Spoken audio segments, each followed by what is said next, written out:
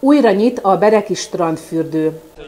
Tájékoztatjuk Önöket, hogy a Berekfürdői Gyógy és Strandfürdő a vízminta eredményétől függően előreláthatólag 2021. május 7-én pénteken megnyitja kapuit.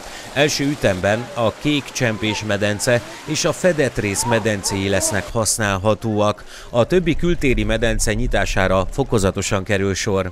A teljes fürdő megnyitása 2021. május 22-én szombaton pünköskor várható. A beléptetés a hatályos jogszabályoknak megfelelően fog történni. Áll Hosszú András ügyvezető igazgatójának televíziónkhoz eljutatott tájékoztatásában.